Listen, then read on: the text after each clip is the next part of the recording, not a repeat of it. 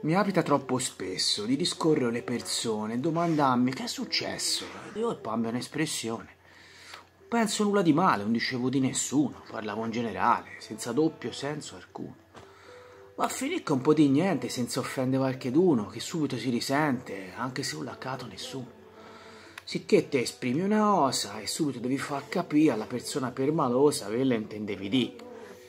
Pensa te che fatiaccia, sta sempre a scervellarsi, si vede anche in faccia, non si sa come comportarsi. Se ne spieghi se intendevi, lui ti dice quasi stupito, non c'era bisogno di spiegavi, non è mia scema, va capito. D'altra parte va capita, questa gente poco chiara, averci la coscienza pulita, è davvero una cosa rara. Alla fine di queste parole, qualcheduno si dirà, dice a me, ma che vuole?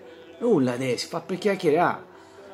Io lo so qual è il motivo, il perché o la ragione per cui uno si sente corto nel vivo in qualsiasi situazione.